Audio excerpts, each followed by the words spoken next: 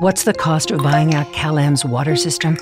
At least 500 million tax dollars just to buy the infrastructure. Monterey County would lose 75 million in taxes that fund our schools and other vital services. And it would be the largest, most expensive eminent domain lawsuit in California history.